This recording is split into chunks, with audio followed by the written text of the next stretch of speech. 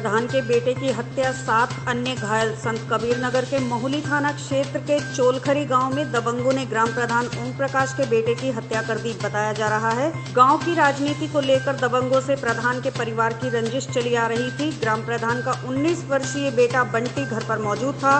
तभी गाँव के दबंगों ने घर पर धावा बोल दिया। घर में घुस आए हमलावरों ने बंटी को हॉकी, लाठी और लोहे की रॉड से पीटना शुरू कर दिया। बुरी तरह लहूलुहान बंटी की, वहीं पर मौत हो गई। बेटे को पिटता देख दौड़कर पहुँची प्रधान की पत्नी और परिवार के साथ अन्य लोगों को भी दबंगों ने पीट पीट कर घायल कर दिया।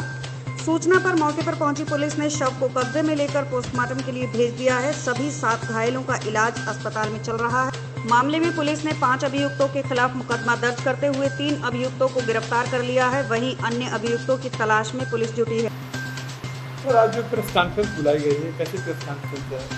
ये थाना महुली के अंतर्गत एक टोलखरी गाँव है, जहाँ कल शाम को लगभग आठ बजे, साढ़े सात आठ बजे के आसपास एक घटना हो गई, जिसकी सूचना थाने पे मिली। थाने पुलिस वहाँ गया, मालूम हुआ कि ग्राम के प्रधान हैं ओम प्रकाश जी।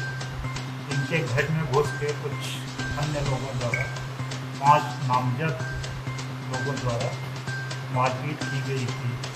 घर में घुस के इनके बेटे को निकाल के पीछा गया था काफ़ी से।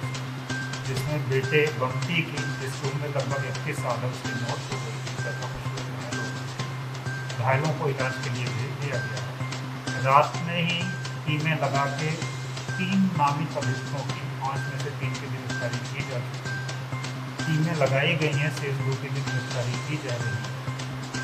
मौके पर पर्याप्त पुलिस बल लगा दिया गया है। और कड़ी से कड़ी कार्रवाई की। तो क्या रीजन रहा क्यों घटना घटी? देखिए जो उन्होंने आरोप लगाया है पुरानी रंजिश प्रधानी को लेकर लेकिन उसमें कुछ अन्य बिंदु भी प्रकाश में आए हैं जिसका खुलासा विवेचना के क्रम में किया